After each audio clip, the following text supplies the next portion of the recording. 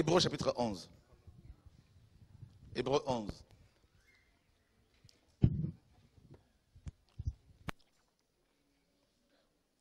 On entend parler de la foi, la foi, la foi, la foi. Et euh, pendant qu'on priait, pendant qu'on chantait tout à l'heure, le Seigneur me disait, tu vas parler de la foi.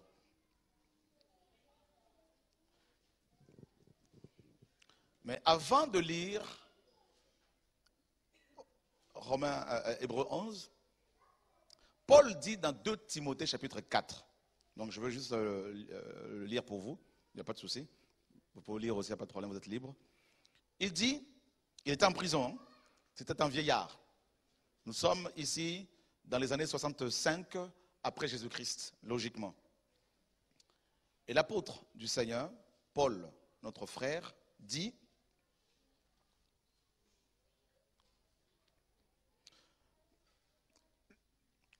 je te somme devant Dieu et devant le Seigneur Jésus-Christ, qui doit juger les vivants et les morts lors de son apparition et de son règne, prêche la parole, insiste en toute occasion, favorable ou non, reprend, censure, exhorte avec toute douceur d'esprit et avec doctrine. Car il viendra un temps où les hommes ne supporteront pas la saine doctrine, mais aimant qu'on leur chatouille les oreilles par des discours agréables, ils chercheront des docteurs qui répondent à leurs désirs et ils détourneront leurs oreilles de la vérité et se tourneront vers les fables. C'est terrible, hein? Les fables euh, s'opposent à la saine doctrine, à l'évangile. Et il continue et dit, mais toi, veille en toutes choses, souffre les afflictions, fais l'œuvre d'un évangéliste, rends ton service pleinement approuvé. Car pour moi, je m'en vais maintenant servir de libation et le temps de mon départ est proche. J'ai combattu le bon combat j'ai achevé la course, j'ai gardé la foi. Waouh! Ça veut dire que le combat contre le combat dans lequel nous sommes, je parle de ceux, euh, celles qui se sont convertis. Notre combat est le combat de la foi. Déjà de manière personnelle, avant même d'être membre d'un groupe local, d'une assemblée locale une personne seule se convertit chez elle, le Seigneur la visite, cette personne-là ne fréquente aucune assemblée. Elle va avoir toute sa vie, je dis bien, elle ne fréquente aucune assemblée. Toute sa vie, de manière seule, personnelle, elle va devoir lutter pour garder sa foi. Pourquoi? Parce que la foi, c'est la racine, c'est la base de la relation avec Dieu. On ne peut rien faire dans le royaume de Dieu sans la foi. Rien. On ne peut pas aller au ciel sans la foi. On ne peut pas être enlevé sans la foi. On ne peut pas vivre le miracle du Seigneur dans le quotidien sans la foi. Jésus dit dans Luc 18, il dit, quand le Fils de l'homme reviendra, trouvera-t-il trouvera-t-il la foi sur terre? Paul dit encore dans 1 Timothée 4, il dit, l'Esprit dit expressement que dans les derniers jours, quelques-uns se détourneront de la foi. Waouh Pour s'attacher à des esprits séducteurs et à des doctrines des démons. Laissez-moi parler de la foi de la part du Seigneur ce matin. Quand j'entends des gens faire des, je vois des gens faire des vidéos sur YouTube où ils vont imposer les mains aux gens n'importe comment. Et je me dis, voilà comment ils attrapent des démons. Ce sont des esprits séducteurs. C'est terrible. Et beaucoup sont séduits. Ils sont séduits parfois étant seuls chez eux.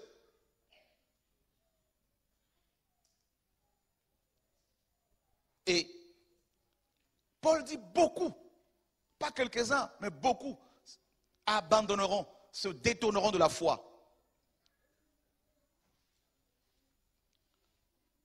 Par l'hypocrisie des faux docteurs, portant la marque de la flétrissure dans leur propre conscience, ou ils sont marqués au fer, c'est-à-dire ils ont la marque de la bête. Ce sont des enfants de Satan, ce sont des serviteurs de Satan déguisés. C'est grave. Donc ton combat véritable, c'est ça. C'est que tu gardes ta foi de manière personnelle. Et l'ennemi va se servir des gens les plus proches, souvent, pour détruire la foi que tu as. La foi, je la définis aussi comme une flamme qui brûle. Ça va être dans le temple. Ah ouais. Dieu disait qu'il ne fallait surtout pas éteindre le chandelier. Voilà.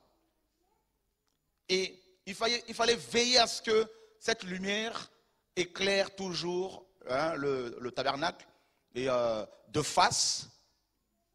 C'est ça l'image de la foi. Et c'est terrible. Paul dit, j'ai combattu le bon combat. Il y a un autre faux, il y a un faux combat, il y a un autre combat qui n'est pas, qui n'est pas le bon.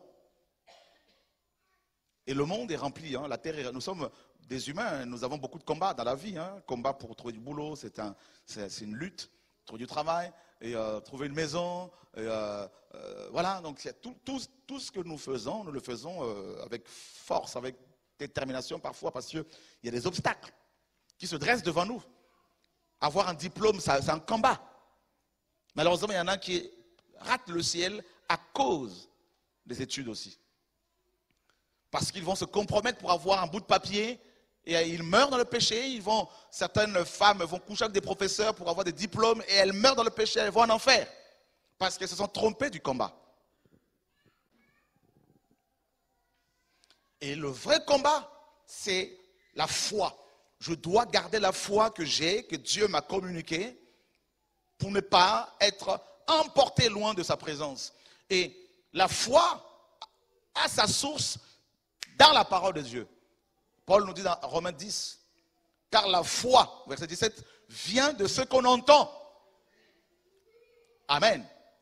Donc, la foi vient de ce qu'on entend et ce qu'on entend vient de la parole du Seigneur et pas la parole des hommes. La parole des hommes, il y a aussi la parole des hommes. La parole des hommes a rempli nos églises. La parole des hommes a rempli Internet avec leur philosophie.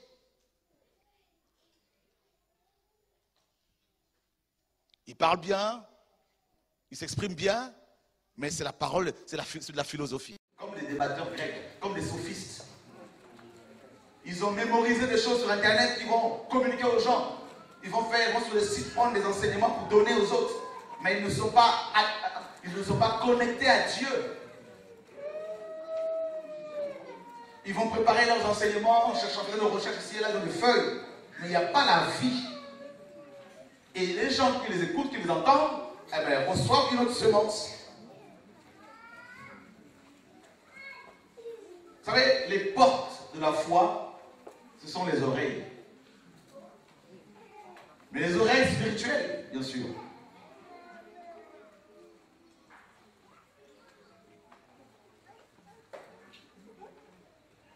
Il y a six jours à peu près, j'étais à la maison et le Seigneur a commencé à me parler. Déjà une semaine avant, mais je n'avais pas saisi. Il me parlait de quelque chose de précis. Il me parlait de Psaume chapitre 1er. Il fallait que j'écrive un livre là-dessus pour le 19 décembre. Et euh, un petit livret. Pour le, 23. Et je n'ai pas fait attention. Et puis, il y a 6 jours, 7 jours, il m'a parlé clairement. Je me suis assis, j'ai commencé à taper a écrit, a écrit, a écrit. Il m'a saisi, j'écrivais, je tapais, je tapais, je tapais tout ce qu'il me donnait, j'allais faire la parole, tout ça. Il me parlait. Et on parle de la foi.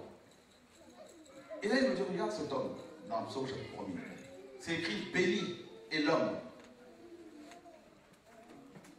qui ne marche pas selon le conseil des méchants. Donc il me dit déjà ici la vraie bénédiction, il a commencé par là, c'est euh, refuser d'écouter les méchants. Ce n'est pas avoir une belle voiture, une belle maison. Deuxièmement, il me parle euh, de la marche. Quand Paul dit qu'il a combattu le bon combat, il parle de la marche, parce que la foi, c'est ça, c'est la marche. nous partons d'un lieu vers un autre lieu. du point A au point B. Mais entre les deux points, il y a des épreuves qui risquent de détruire votre foi. Il y a des épreuves, si vous ne faites pas attention, qui peuvent vous détruire, soit vous disqualifier ou vous qualifier. Et entre les deux, les deux points, c'est-à-dire l'Égypte, le point de départ, Canaan, le point d'arrivée, donc le ciel, euh, Jérusalem céleste, notre patrie, il y a les conseils des méchants. J'ai été vérifié conseil, qui veut dire aussi dessein, but, projet. Ah. Donc il ne faut pas dans cette marche-là marcher selon l'enseignement, parce que le conseil c'est aussi l'enseignement. Paul dit dans Acte 20, il dit, je vous ai enseigné tout le conseil de Dieu. Donc le conseil des méchants, tu me faisais comprendre, c'est la doctrine des méchants. C'est l'enseignement erroné des méchants. Ce sont les, c'est la doctrine des impies. Waouh, Seigneur, mais c'est terrible. Donc vous avez des gens qui marchent vers Dieu et ils vont se mettre à écouter des doctrines étrangères, des doctrines des méchants. Et le méchant le plus grand, c'est Lucifer. Et on nous dit, Paul dit qu'ils vont s'attacher à des doctrines des démons. Waouh, Seigneur La foi. Et quand je regardais dans, les Écritures, je me suis aperçu que les Juifs, les chefs juifs, les pharisiens qui n'avaient pas cru en Jésus, ils n'avaient pas cru en lui. Vous savez pourquoi? Parce qu'ils avaient, ils écoutaient plus le conseil des méchants que la parole de Dieu. Regardez. Juste rapidement. La Exode 24, verset 12. Dieu dit à Moïse, monte sur le mont Sinaï. Parle la foi. Je te montrerai, je te donnerai la loi et les commandements que j'ai écrits pour eux. La loi et les commandements. Le mot loi ici, c'est Torah. La règle, la correction, l'éducation. Et commandement, c'est mitzvah. Mitzvah. Vous vous rappelez de la barre hein, Bar mitzvah. Le rite d'initiation, euh, euh, voilà, une initiative, tout ça, qui fait passer les juifs euh, de l'enfance à la majorité. Les filles, c'était 13 ans, les garçons, les filles 12 ans, les garçons 13 ans. Et là, les juifs ont, dit, beaucoup de juifs ont dit, vous voyez, les mitzvahs là, tu vois, la, mitzvah, ce qu'on appelle comme ça la mitzvah, c'est commandement, euh, règle, mais la mitzvah selon eux, c'était la loi orale qu'ils ont transformée en, comment dire, en, règle, en, en, fait ils ont remplacé la Torah par la, loi morale, la loi orale, orale. Et euh, la Mishnah. Et ils ne croyaient plus Moïse. Ils ont dit non, nous préférons nos traditions, les traditions de nos pères. Vous voyez? La loi orale. Et Jésus dira, si vous croyez en Moïse, vous croiriez en moi, parce qu'il a parlé de moi. Mais comme ils ne croyaient pas en Moïse, voilà pourquoi ils n'ont pas cru en Jésus. Et le Seigneur dit, m'a dit, c'est la même chose aujourd'hui. Beaucoup de chrétiens ne croient pas ma parole parce qu'ils croient aux traditions d'hommes la tradition apostolique et catholique, Trinité, bâtiment d'église comme maison, tout ça, mais des choses terribles. je dis Seigneur, mais c'est terrible. Oui. Donc du coup, les gens n'ont pas foi parce qu'ils ont entendu, ils ont, ils gardé, les traditions d'hommes. Jésus disait, vous avez remplacé la parole de Dieu par vos traditions. Paul était zélé pour les traditions de ses pères que pour la parole de Dieu. Mes amis, la foi, si tu ne la gardes pas toi-même, si tu ne veilles pas, de manière personnelle, si tu t'attends à ce que les autres veillent sur toi, tu risques de passer à côté de l'éternité avec Dieu. Oh oui.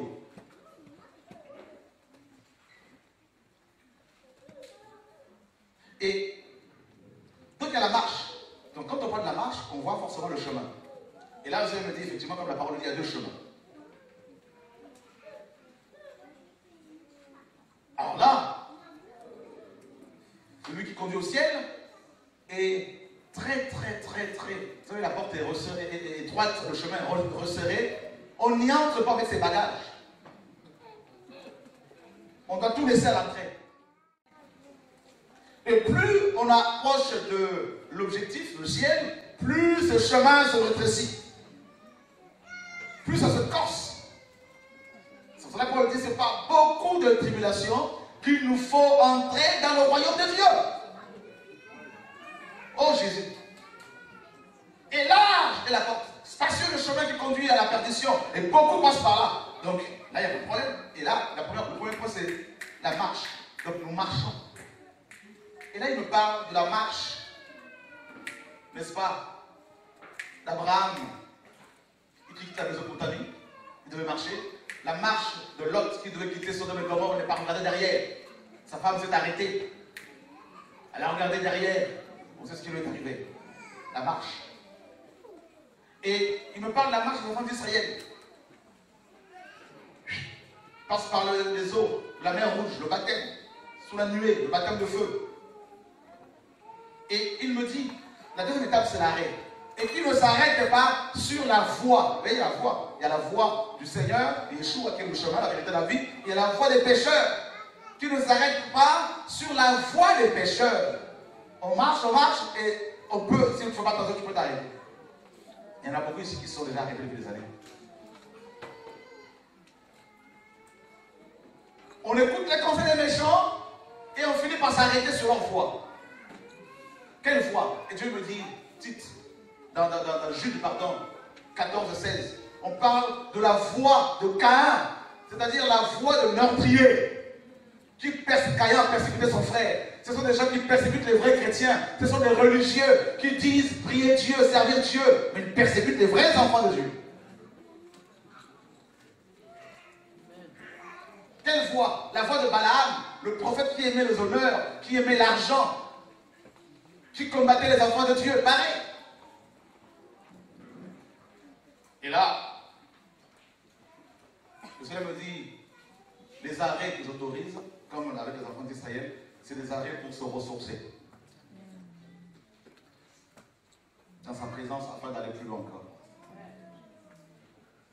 Et autre chose, on marche, on entend les, les uns les autres, on finit par s'arrêter, et troisièmement, on finit par s'asseoir, où Dans l'assemblée des moqueurs.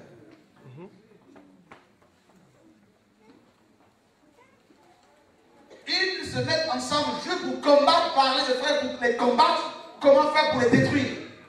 Et l'assemblée des moqueurs, c'est la synagogue de Satan. Et c'est le livret qui va sortir là.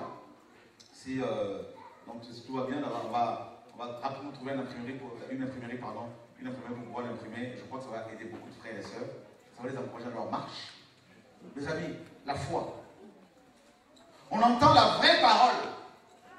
Comment voulez-vous avoir foi en Dieu? Si vous n'entendez pas la parole qui amène la vie C'est bien beau de parler de Jésus, Jésus, Jésus. Honnêtement, je ne vous cache pas, moi je, n'écoute pas les gens qui ne, qui ne vivent pas ce qu'ils prêchent. Je vais écouter les gens qui prêchent et qui vivent, le, on le sent, on le voit. Je ne veux pas me mettre à écouter quelqu'un qui est assis sur son bureau, là, ou euh, dans son bureau, ou dans sa cuisine, et qui me parle la Bible, vous savez, l'église, machin, tout ça, l'église. Non, l'église, on ne prêche pas seulement l'église, on ne prêche pas, on vit l'église. C'est ça la foi. Ne me dis pas, non, mais vous savez, je veux vous prêcher Jésus. Non, c'est bien. Mais je veux que tu, tu me démontres Jésus. C'est ça la foi.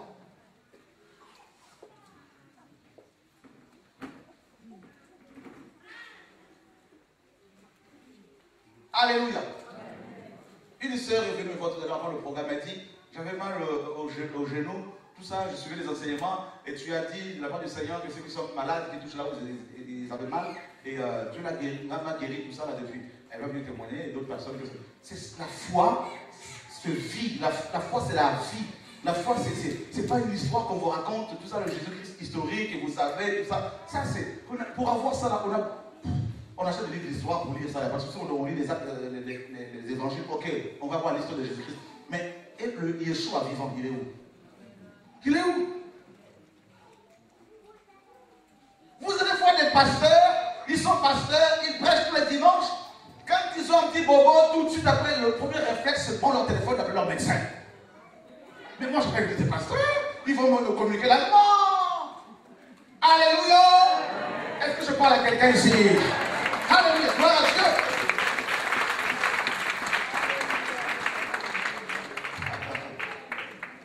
Frère, ça fait 25 ans bientôt, là, dans quelques mois, là. Ça fait 25 ans que je suis allé voir aucun médecin. Je le dis de plus en plus. Aucun, ni un généraliste, ni je ne sais pas, personne. Je dis au Seigneur, tu m'as appelé, tu m'as amené au ciel, tu m'as fait signer un contrat. J'ai vu ta gloire, j'ai vu ton trône, j'ai parlé avec l'ange Gabriel, il m'a fait boire de l'eau. Ce ne sont pas des histoires. Seigneur, j'ai vu des guérisons, je vois des guérisons que tu opères. Seigneur, à cause de ton appel, à cause de toi, parce que je suis appelé depuis, depuis 17 ans, Seigneur, je n'ai pas de couverture sociale, rien à cause de ça. Seigneur, agis. Même pour avoir l'appartement qu'on a là. J'ai dit, on était en mission, la soeur qui s'en occupait là, dans une agence. Je, elle dit non, les fiches de paie, je donnais leur les fiches de paie que j'avais il y a depuis 17 ans, tout ça. Tout, ça. Oh, Alléluia! Il y a eu, il y a, Dieu est vivant. On ne peut pas Dieu, Alléluia!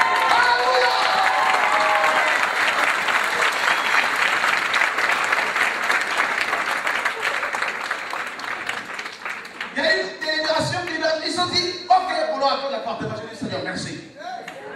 Voilà. Quand j'ai un problème de santé, je dis, Seigneur, si tu penses que ma mission est finie, je rentre à la maison. Je peux être un cobaye, un médecin, un maçon qui va vouloir je ne sais pas quoi, alors que les âmes meurent. Abraham, qu'est-ce qu'il a fait? Est-ce qu'il est allé voir un dentiste tous les quatre matins? Non. Alléluia. Moi, je crois que tout ce qui est écrit là-dedans, c'est la parole de Dieu. Je crois que Dieu laisse sa parole pour l'accomplir, frères et sœurs. Il n'a pas changé.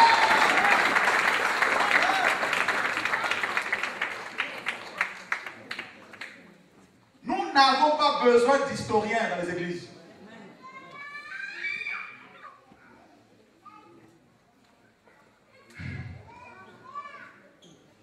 La différence entre l'église, la foi chrétienne et Bouddha, l'islam, c'est que eux, la, philosophie, on parle, on parle, on parle, on parle, on parle, on parle, on parle, on parle, on parle. Mais à un moment donné, les gens vont vous avez trop parlé.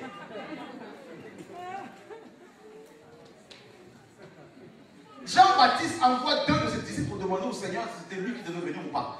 La parole nous dit que quand ils sont arrivés, à l'heure même, qu'est-ce qu'on à l'heure même Ah, c'est écrit, non? Voilà. voilà la foi. À l'heure même, Jésus a commencé à faire des, des guérisons, délivrances, guérisons, restauration, tout ça. Là. Et c'était magnifique, glorieux. Ça va? Un peu fatigué? Non, on, va, on ouvre la Bible, vous savez, Jésus-Christ a guéri. Posez la question à ce prédicateur. As-tu déjà guéri un malade au nom de Jésus? Non. Alors, ferme ta Bible. Moi, je leur dis, les femmes, vous allez, oh, vous savez, le Seigneur a guéri les malades, a ressuscité les morts, a chassé les démons, tout ça. Tu as déjà un démon? Non, pasteur. Alors, ferme ta Bible. Ferme ta Bible. Pourquoi tu crois que tu es un menteur? Tu dis que Jésus-Christ fait le même hier, aujourd'hui, éternellement. Ok. Est-ce que tu as déjà expérimenté quelque chose avec le Seigneur? Tous les jours, est-ce que tu fais des choses? Oh, mais vous savez, tout ça, nous sommes dans une génération, c'est compliqué. Comment ça, c'est compliqué? C'est l'impression que tu as voilà. C'est parce que, ben parce que ben la, foi, euh, la foi disparaît. La foi est en train de disparaître. Déjà, dans ces églises-là, il n'y a plus rien. Moi, j'ai vu des pasteurs, ils vont voir des psychologues. Pasteurs, ils prêchent le dimanche à l'assemblée. Vous avez même des chrétiens psychologues qui sont là pour aider les pasteurs. Euh, euh, chaque semaine, le pasteur va s'allonger sur le canapé du frère euh, Jacques Matunda ou Jacques ou Pierre Jacques, hein, ou Jacques Dupont. Et Jacques Dupont, ben, ça va, pasteur Jacques? Oui, pasteur Pierre, oui, mon frère Dupont, Dupont, ça va bien.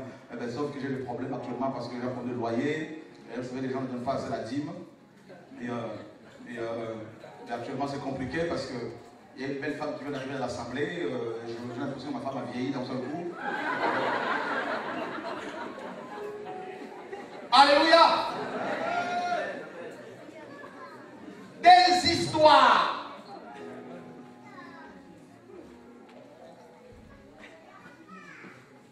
Mais Comment voulez-vous que des jeunes Français n'aillent pas vers l'islam?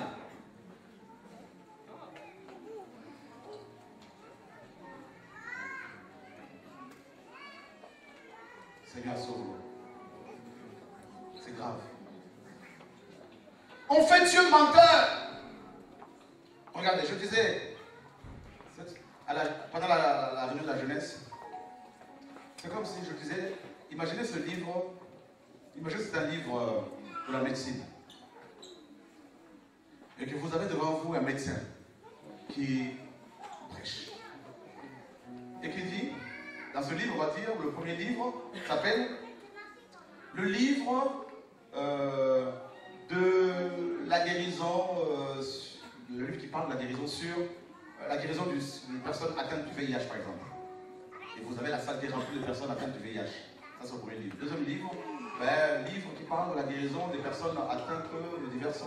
Sortes de, cancers. Ok, vous avez des cancéroses qui sont là. Et la personne vient et dit, ben, ouais, ce livre-là, eh ben, si vous croyez au médecin qui l'a inspiré, eh ben, vous pouvez être guéri. Troisième livre, le livre qui parle de la, euh, de la guérison de l'âme des gens qui n'ont plus d'espérance par rapport à la vie éternelle, ils peuvent, peuvent être sauvés. Et puis le médecin, il prêche, il prêche, il prêche. Et à la fin, les, malades disent, bah là, on fait quoi? Ah oui, mais ça, c'était à l'époque.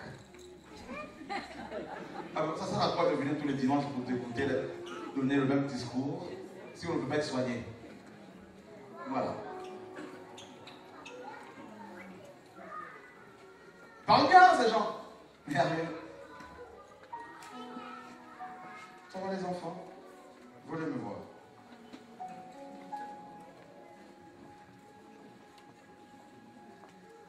Vous faites un câlin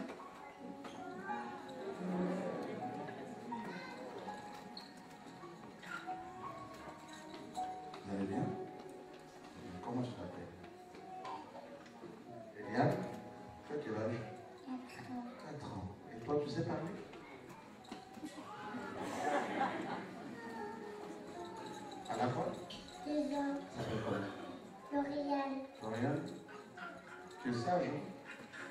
hein Tu faire un bisou Un bisou Hmm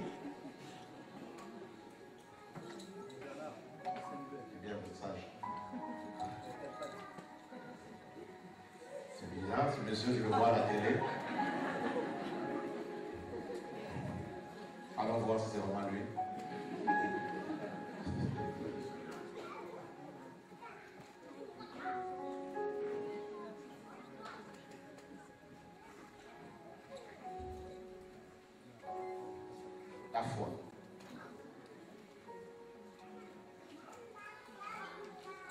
jour, des enfants comme ça s'étaient approchés du Seigneur. Pendant qu'il intervenait, les apôtres sont venus. Ah. Qu'est-ce que vous venez à moi, les petits enfants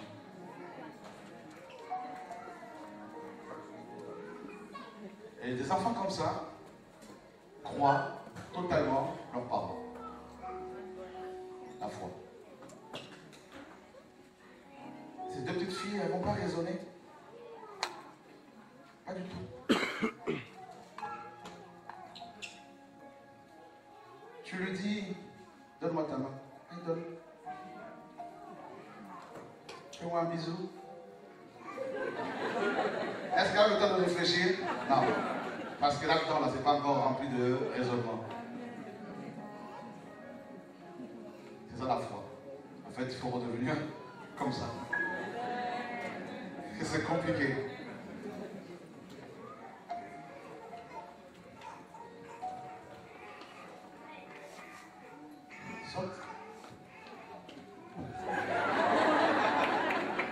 C'est ça la foi.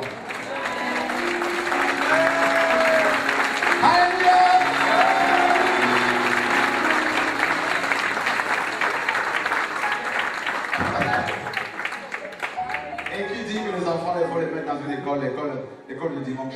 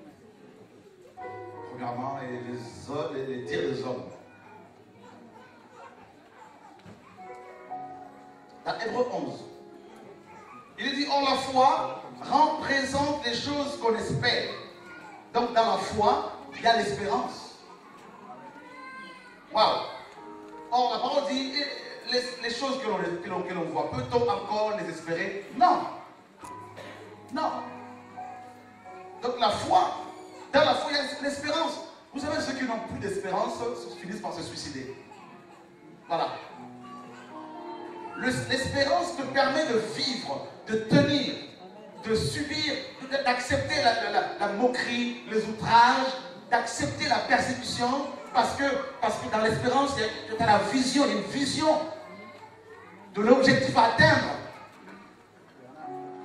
Dans l'espérance, même si tout le monde dit c'est fini, même si ton même médecin dit non, non, là on a occupé, donc on t'a étudié, là c'est fini, là c'est fini, l'examen qu'on a fait là, non, mais c'est fini. L'espérance. Une femme est venue me voir et m'a dit frère, prie pour moi parce que j'ai, on m'a, on a, on a, on m'a fait une ablation de deux trompes, mais euh, je crois que je vais être, je peux être guéri. Je vais regarder du coup là, là, là, là c'est un peu, ouais, c'est compliqué là, effectivement.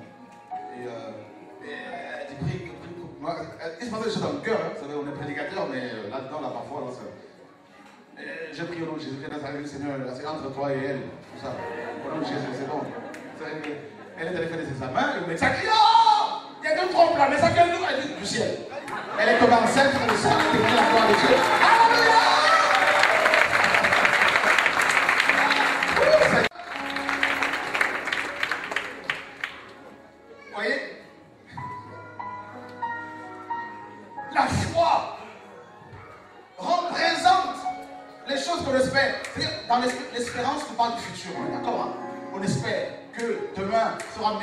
Mais Dieu dit, aujourd'hui tu peux vivre demain. Aujourd'hui même, maintenant même. Si tu le crois, maintenant. Vous savez que le Dieu de la Bible est le Dieu d'aujourd'hui. Aujourd'hui, si tu crois, tu verras la gloire de Dieu. Aujourd'hui. Dans ma vie personnelle, les gens m'ont toujours dit, frère, c'est pas possible. À chaque fois, je dis, non, c'est possible. Non, c'est pas possible, c'est possible. Mais tu sais, il faut comprendre. Non, non, non, c'est possible.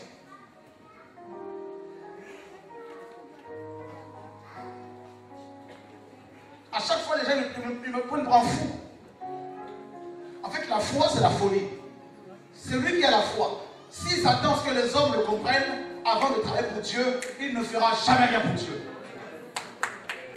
Alléluia. Gloire à Dieu.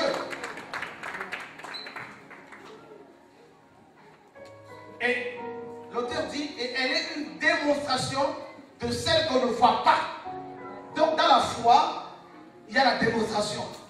Il y a la matérialisation des choses. Waouh Seigneur, mais c'est ça la vie chrétienne.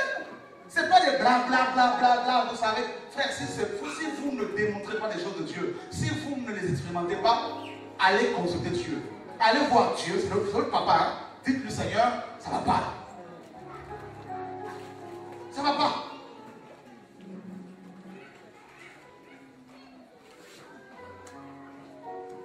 On ne, veut, plus de cette vie chrétienne médiocre. Je ne parle pas de l'argent financier, je ne parle pas des finances. Je parle de la, la, puissance de Dieu, la gloire de Dieu qui doit nous précéder, qui doit nous accompagner, frères et sœurs. La foi. La foi.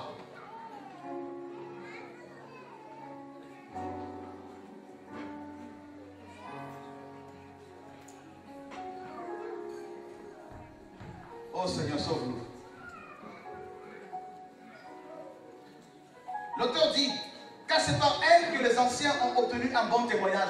Tu veux être un bon témoin? Tu veux avoir un bon témoignage? La foi. La foi. Alléluia. Gloire à Dieu. Ça va? Mhm.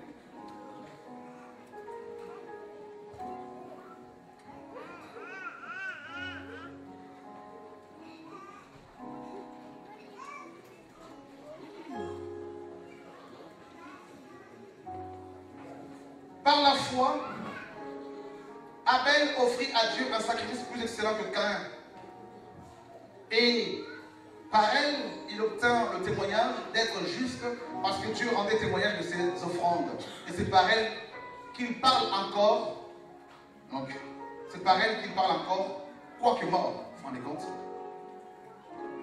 La foi, les œuvres de la foi ne peuvent pas être détruites. Même après ta mort, ces œuvres-là vont continuer à parler de ce que Dieu a fait avec toi, de ce que tu as fait dans le royaume de Dieu. Et ça, c'est magnifique, frères et sœurs. Donc en fait, nous les chrétiens, nous ne mourrons pas. Waouh Et on nous dit, on nous parle d'Abel, le premier à avoir foi en Dieu. Et quelle a été la, une des conséquences de sa foi, à votre avis, c'est la mort. Donc, si tu veux avoir la vraie foi, attends-toi à tout. Tout peut arriver. Même la mort.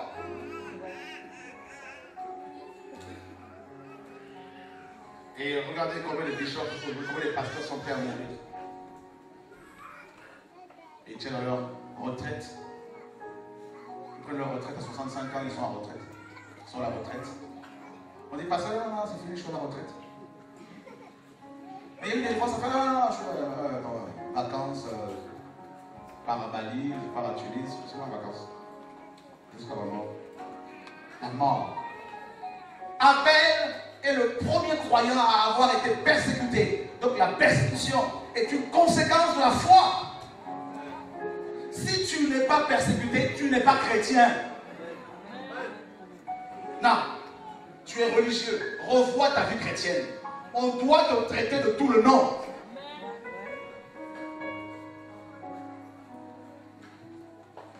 Oh, tu es dans une secte.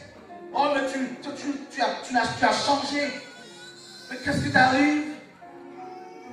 Mais qu'est-ce qui vous arrive? La foi.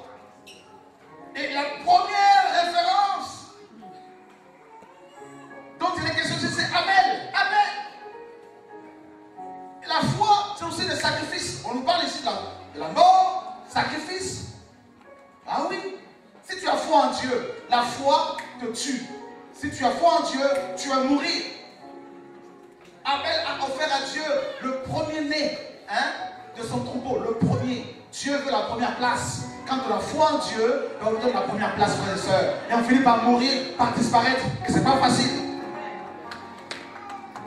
Et la façon, le moyen que Dieu a choisi pour nous tuer, ce sont les proches qui vont nous attaquer, nous insulter. Ce sont les gens à qui on a fait confiance qui vont nous détruire par les paroles, par les outrages, par les critiques. Et là, on pleure, on saigne, on pleure, on souffre.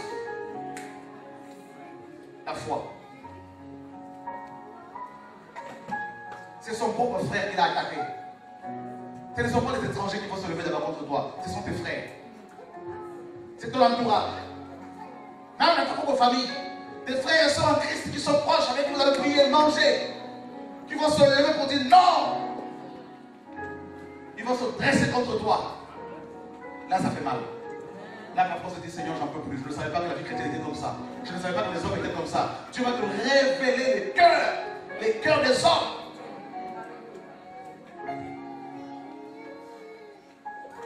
Il permet cela pour que tu sois détaché de l'homme, détaché des hommes, afin que tu sois plus avec lui. Alléluia. Parce qu'il est jaloux. Parce que la chrétienne est une vie solitaire. Oh, Père.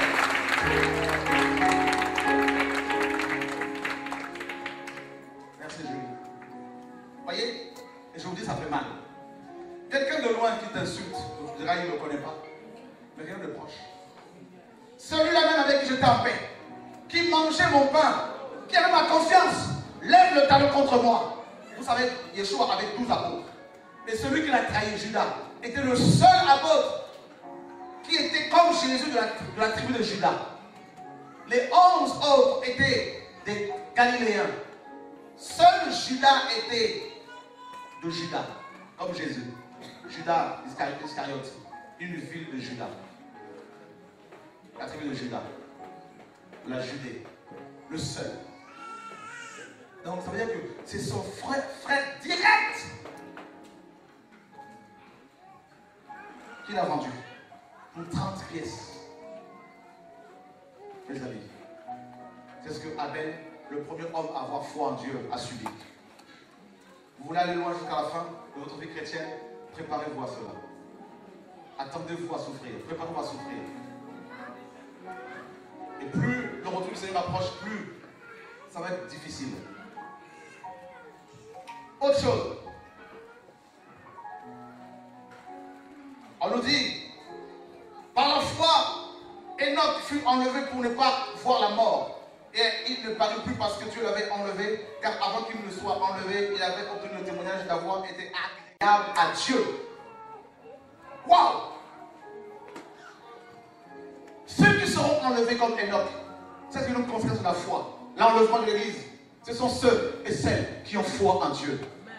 Oh oui, la foi en Dieu, c'est cette marche-là qui va à l'encontre.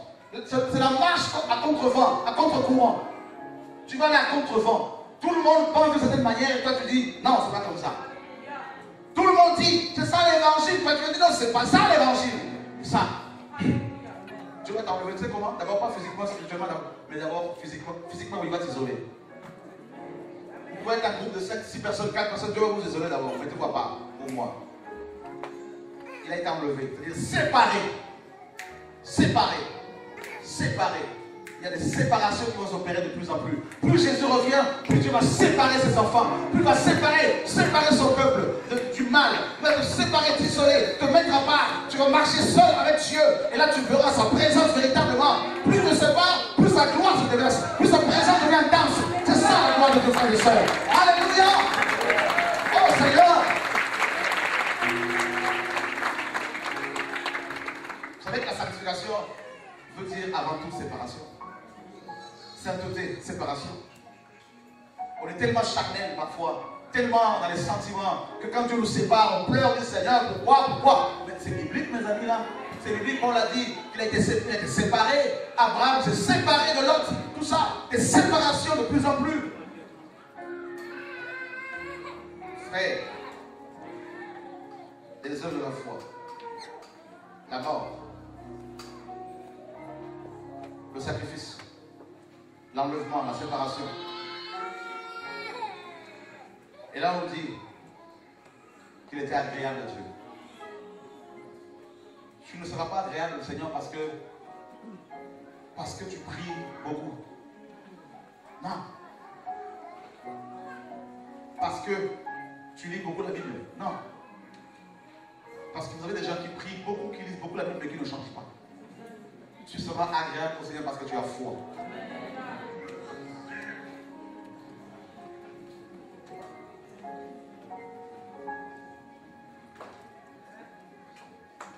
Tiens.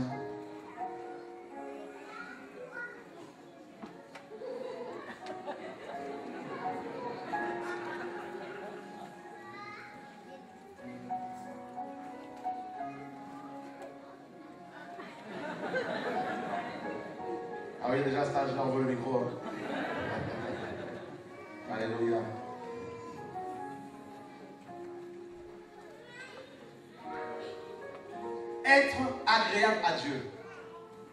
Un jour, Dieu m'a posé la question, que veux-tu que je fasse pour toi Je dis, Seigneur, je veux être agréable. Je veux être agréable. C'est tout ce que je veux. Avoir de l'argent, on va tout laisser. Les belles choses de ce monde, on va tout laisser. Je veux te plaire. Ça, c'est la demande que je fais toujours au Seigneur. Oh, Alléluia. Seigneur, je veux être agréable à ton royaume. Je veux être agréable, Seigneur. Imaginez si ta vie devient agréable au Seigneur. Dieu, quand il va te regarder, il va se réjouir comme, comme il fait avec Job. Et là, plus personne ne te toucher. Celui ou celle qui est agréable au Seigneur, aucun démon, Aucun démon ne peut l'atteindre, frère. Moi, je vois dans ma vie, je pas que je suis agréable au Seigneur. Je me bats.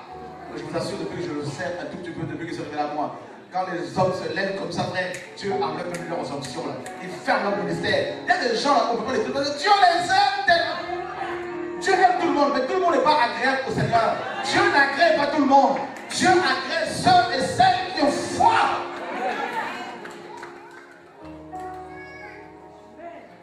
Est-ce que tu sais que tu es agréable au Seigneur parce que tu as foi en Dieu? Quelles que soient les épreuves, Dieu dit à Satan, regarde ma fille là, regarde ma fille là, regarde.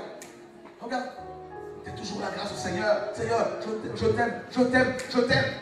Satan, il vient, il t'attaque, il t'attaque, il t'attaque, il dit au Seigneur, tu vas voir cette fois-ci, elle va, abandonner. Et là, tu es là, tu es à genoux, Seigneur.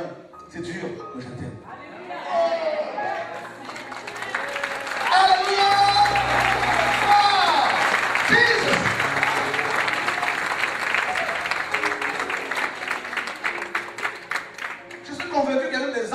Entre eux, hein, se parlent entre eux. C'est là, c'est vraiment euh, le maître, euh, euh, le temps. hein. Parce que ta vie, avec la foi, grâce à la foi, ta vie est une offrande. C'est le, le parfum qui monte tous les jours. Et quand tu dors, tu es inconscient. Mais ton ton corps dégage un parfum. Le parfum monte vers Dieu et Dieu, il nage. le problème. Alléluia, Alléluia.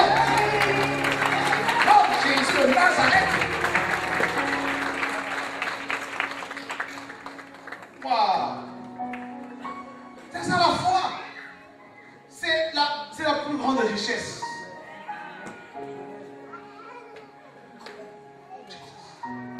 Jeune fille, jeune, jeune homme, quels que soient les dires des gens, ne baisse pas les bras, ne retourne pas derrière. Non, c'est un privilège, c'est une grâce que Dieu t'a choisi, c'est une grâce que tu dois tourner vers Dieu, c'est une grâce, c'est une grâce.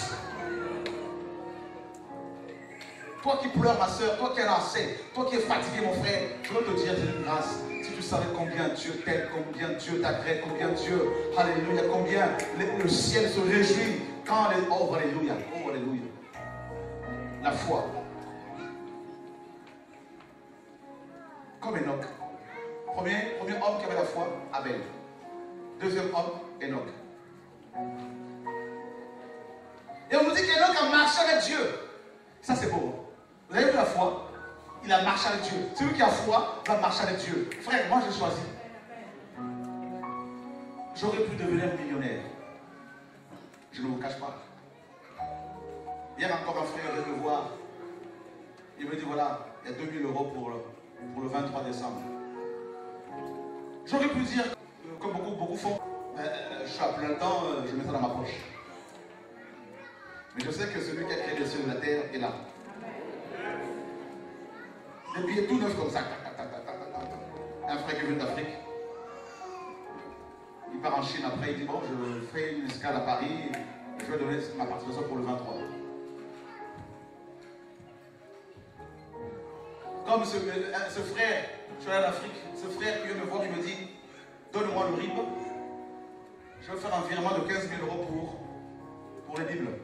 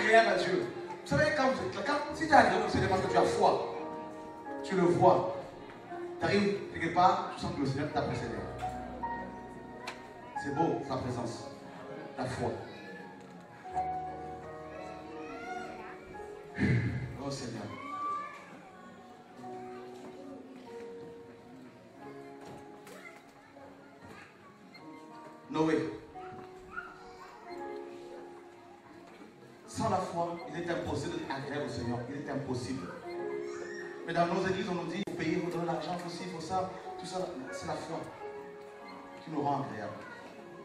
La foi. Pas autre chose. La foi.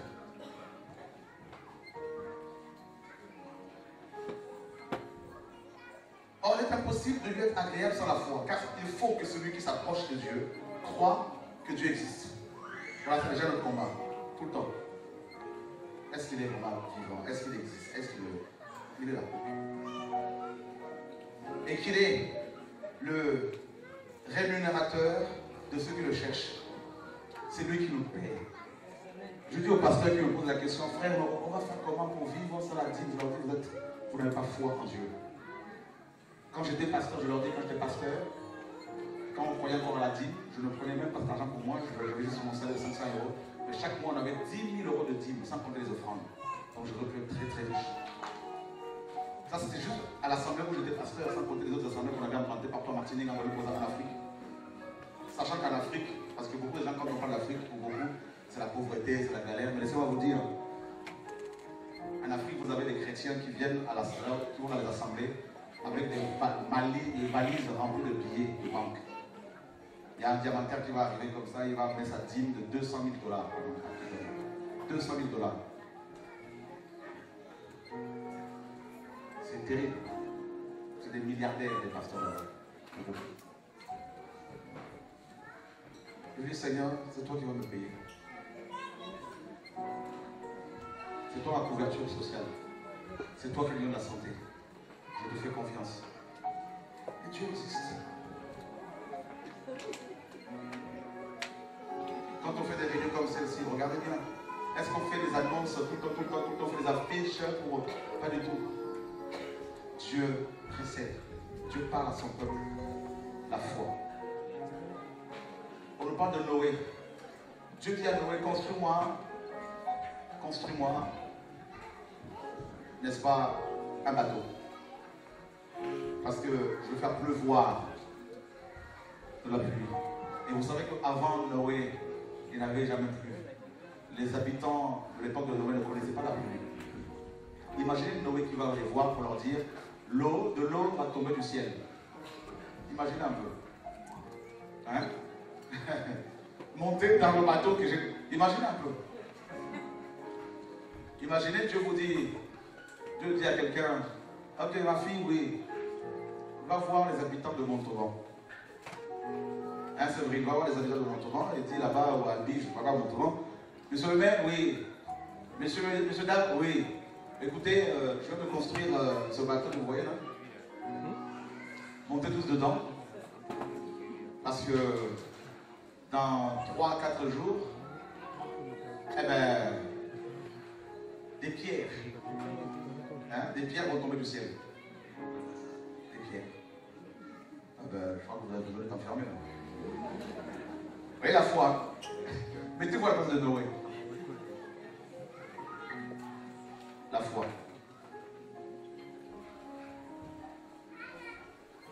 On finit, on nous parle d'Abraham. On nous dit qu'il était, comme vous le savez, Abraham était sexuellement impuissant. Quand on nous dit que son corps était usé, c'est un langage pour adoucir un peu. C'est un euphémisme. C'est un euphémisme tout ça. Mais en fait, il était sexuellement impuissant. À 100 ans. Même le Viagra ne pouvait pas fonctionner. Sarah, sa matrice était morte, c'est écrit littéralement, sa matrice est morte, elle était pourrie la fille. Tu as attendu que tout pourrisse, tout, tout soit pourri, tout, tout. Qu'il n'ait aucune possibilité d'avoir un enfant. Rien. Il n'avait même plus d'envie pour les deux, là, fini. C'était deux vieillards. Imaginez comme ça. Je dis, bon, là, le fils arrive. Ah, Sarah était tellement dépassée que quand l'ange, euh, Dieu a dit qu'elle allait avoir un enfant l'année prochaine, elle a rigolé. Elle arrive. Elle dit, pourquoi tu as dit J'ai pas ri? Elle a menti. Regarde, moi c'est pareil, nous c'est pareil. Parfois on est avec, on est en colère. Je prie, je jeûne, rien. Qui n'a jamais été en colère c'est contre Dieu hmm? à la barre à cause de souffrance. Dieu, oui, je n'ai jamais demandé à être créé, c'est toi qui m'as créé, maudit soit le jour de ma naissance. Ça, c'est Jérémie et Job. Ils vont jusqu'à maudire même Jérémie, celui qui avait apporté la nouvelle. Qu'est-ce qu'il a fait le gars Qu'est-ce qu'il a fait le monsieur qui a apporté la nouvelle Qui comme quoi, euh, là, Jérémie veut lunettes. Mais il a quand même maudit, il a qu'est-ce qu'il a maudit Parfois, quand on souffle, on sait plus ce qu'on dit. Voilà. Il y a le début de parole.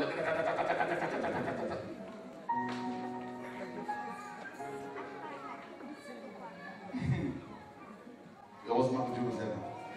Il nous rattrape. Qui souffre?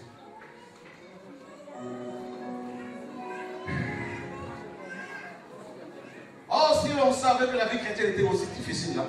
je crois que beaucoup allaient alors dire non, non, non, non, non, non. S'il te plaît, je ne rentre pas. J'attends juste le dernier moment, là, avant mon départ. Je dis, Seigneur, je te reçois. Hein? Mais tu t'aperçois que 20 ans après, c'est toujours la même souffrance, tout ça. Ouais, tu es dans la barque, hein, c'est fini. Tu peux faire marche arrière. Coincé. Là, il faut la foi, la foi, la foi, la foi. Oh Seigneur, sauve-nous. 100 ans. Moïse, parce qu'il avait foi en Dieu, on nous dit qu'il a refusé d'être appelé le fils de la fille de Pharaon. Il a refusé les hon- les honneurs. Il a accepté de souffrir pour Christ. Voilà la foi, la souffrance. Et regardez la Hébreu 11. On nous dit que ces hommes et femmes qui avaient, foi en Dieu n'étaient pas dignes. Le monde n'était pas digne d'eux. Ils vivaient où? Dans les châteaux Pas du tout? Ils étaient en souffrance à cause de la foi. Tu vas au ciel, prépare-toi. Séparation, brisement, pleurs, rejet, incompréhension. Dieu va te parler, tu vas parler aux frères et sœurs, vont dire non, tu es, tu es Satan. C'est un démon qui parle par ta bouche. Tais-toi. Tu vas être dans la souffrance. Comment tu peux me faire ça? Parfois, c'est ton mari qui va se lever contre toi. Parfois, c'est ta femme qui va se lever contre toi. Parfois, ce sont les parents, les enfants, les frères et sœurs, les cousins, les cousines, les amis proches, les gens de ce monde, ton employeur, les collègues. Ils vont te trouver différent. J'ai eu un joueur de foot professionnel hier, de football, qui me disait il est rejeté. Tout le monde l'a rejeté dans son club. Parce qu'il a témoigné qu'il est converti, qu'il aime Jésus. Tout le monde le rejette. Ses amis sont allés le voir pour lui dire ça y est, dans une secte. Il dit parce que je me suis converti. Parce que j'aime Jésus. Parce que, parce que je, veux- mettre ma vie en règle. Alors non, t'es dans une secte. Parce que tu as changé.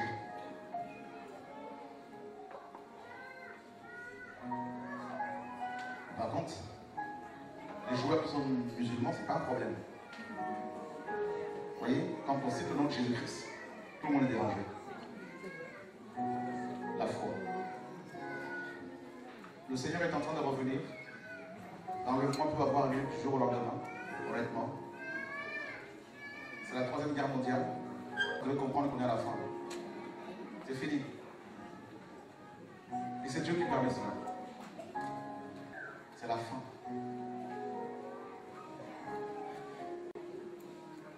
Je dis simplement que les choses vont changer dans beaucoup, beaucoup de nations.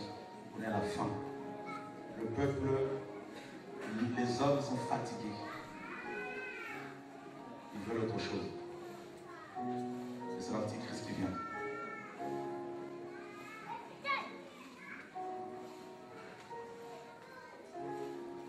Vous êtes un groupe de deux ou trois, quatre personnes, priez ensemble, partagez entre vous. Vous êtes une famille chrétienne, priez avec vos parents, vos enfants. C'est ça l'église. Continuez à prier. Prenez le repas du Seigneur. Laissez-vous conduire par le Seigneur. Priez. Ne vendez pas la vérité. Gardez la foi. Le combat que nous menons n'est pas facile. Nous avons besoin de vos prières, frères, parce qu'on ne vous dit pas tout. Je veux dire tout ce, tout ce que, que l'on vit. Des gens qui nous ont approchés, qui nous approchent et qui veulent qu'on change de message. Je vous, je vous assure. Qui nous mettent la pression pour qu'on change de message. Des fédérations d'églises, comme la Fédération protestante de France, ça, nous sommes diabolisés toutes les secondes. Toutes les secondes. Hier, je partageais avec un frère qui me disait qu'un pasteur que je, connais, un pasteur français, qui disait qu'il ne voulait pas se souiller euh, à cause de moi, pas à cause de mes combats auprès, au milieu- dans le milieu du pasteur, en s'affichant bien sûr avec moi, parce que nous sommes euh, considérés comme des pestiférés, comme euh, des rebuts, comme euh, des souillures, comme des. c'est- à cause de la vérité, parce que nous disons simplement que Dieu est contre le péché, Dieu est contre l'homosexualité, Dieu est contre le lesbianisme, Dieu est contre l'hypocrisie, le racisme, tout ça, Dieu est contre le, péché, tout ça. Et, les gens disent non, non, non, non, non. Ils veulent nous imposer la collaboration des pasteurs qui se masturbent, qui, volent, qui couchent des femmes d'autrui, qui prêchent pour avoir de l'argent. Qui font croire aux gens que l'église c'est un, un, une dénomination que- Je dis non, je refuse. Je refuse. Je refuse.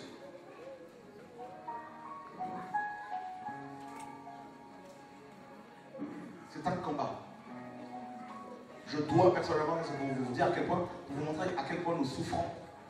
Je dois personnellement, chaque temps, chaque année pratiquement, même si je crie en disant que je suis seul, je suis seul, me séparer des gens pour garder la pureté du message que le Seigneur nous a communiqué. Ce n'est pas un message nouveau. Une sœur elle était dans Paris pour évangéliser. Elle rencontre deux femmes africaines qui, font partie du mouvement euh, juif pour Christ. Juif pour Christ. Et euh, les juifs messianiques. Et ces femmes vont la voir pour lui dire Toi, tu es avec Shora. Elle dit Mais je ne sais pas ce que le nom de Shora ici. Je prêche la sanctification. C'est pas Shora qui est le premier à parler de ça. Je prêche la sainteté, la crainte de Dieu. C'est un message biblique. Pourquoi vous me parlez de Shora? Elles lui ont dit Nous prions pour que ce monsieur meure. Et il va mourir euh, euh, euh, tel jour. Heureusement que c'est déjà passé, pour, malheureusement pour, pour, pour elle. Et elle était choquée. Elle dit Comment vous pouvez parler comme ça? Vous êtes des sorcières? Elles ont dit Non, non, il dérange. Il raconte n'importe quoi. Il casse les assemblées. Vous pouvez vous imaginer, chaque jour, tu dois faire attention à ce que tu fais, à ce que tu dis. Tout ça à cause de la vérité. Je leur ai dit, tant que je vivrai, je ne laisserai aucun pasteur que j'ai formé coucher avec des femmes d'autrui. Je ne laisserai aucun pasteur que j'ai formé prendre l'argent des frères et sœurs ou empêcher les frères et sœurs de prier là où Dieu les conduit parce que les gens sont libres. Ce message, l'évangile que nous prêchons, rend libres les hommes et les femmes. C'est pour la liberté que Christ nous a affranchis, nous dit la parole. L'évangile libère les gens. Les gens sont libres. Eh bien, ça ne plaît pas. Ça ne plaît pas. Pourquoi? Parce qu'on veut voir les frères et sœurs libres. Libres. Et Dieu m'a dit, partout où tu avais établi des assemblées, tu dois y aller pour dire aux frères et sœurs, à ces pasteurs-là, de libérer mon peuple. Parce que la réforme doit commencer dans les assemblées que tu as implantées. Et quand je parlais de la réforme de l'église de retour à la parole, église euh, influente ou influencée, la captivité de l'évangile, ce sont les livres que Dieu m'a fait écrire. Et euh, je ne pensais pas que c'était dans les assemblées d'abord que nous avions implanté. J'étais loin de m'ima- de m'imaginer que des chrétiens chez nous étaient captifs des hommes, prisonniers des hommes qui prêchaient le retour à la parole. Et c'est pour cela que je voudrais dire aux frères et sœurs, quand vous nous voyez combattre, quand vous voyez des gens se lever contre nous, priez le Seigneur, il vous parlera de nous. Parce que nous menons un combat, comme Paul pouvait dire dans Colossiens 2, si vous savez le combat que j'ai pour vous, et pour tous ceux qui sont à, l'Odyssée et ceux qui n'ont pas vu mon visage. C'est une guerre. Tout ça pourquoi Pour que les frères et sœurs soient libres. Libres. On fait des réunions comme ça de plus en plus. On fait les offrandes, on dit aux frères et sœurs, les pauvres, venez, servez-vous. Comme la parole le dit, ça ne plaît pas. Ça ne plaît pas.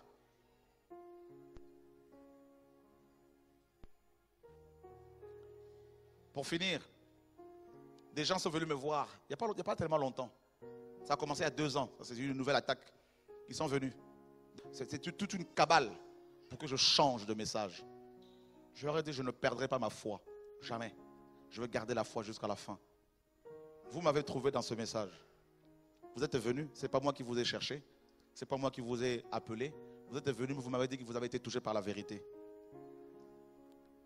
Depuis des années, si vous regardez les vidéos, mes vidéos qui datent de d'il y a 15 ans, 16 ans, 17 ans, 18 ans, vous verrez que le message n'a pas changé. Ça a toujours été le même message. Vous êtes venus, je leur ai dit, il y a 6 ans, 4 ans, et vous voulez que je change de message pour vos beaux yeux? Parce que vous pensez que parce que vous pensez qu'on va plus toucher les gens comme ça, je suis désolé. Prouvez-moi dans la Bible que ce que je prêche n'est pas biblique. Venez, asseyons-nous devant le monde entier, faisons une confrontation. Ils ne veulent pas de la confrontation. Ça va parler dans le dos, dans les coulisses. Venez en face, dites en face devant, comme la lumière dans le tabernacle a éclairé de face. Parlons face à face. Non, ils ne veulent pas. C'est- C'est grave ce qui se passe dans les coulisses, frères et sœurs. Comment les gens se lèvent pour combattre la vérité, pour que la foi des chrétiens soit détruite. La foi. J'ai combattu le bon combat. À cause de la vérité. C'est un combat terrible. Dieu m'a dit en songe, tu comprends pourquoi je te donnais une femme blanche, française de souche? Il n'y a pas de hasard. Le combat est terrible. Ce n'est pas un jeu. C'est une guerre.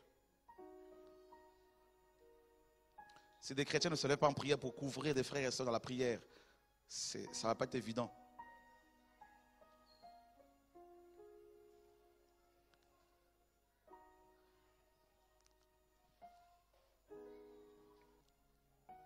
À cause de la foi, à cause de la vérité, à cause des conversions, à cause de ce que Dieu fait.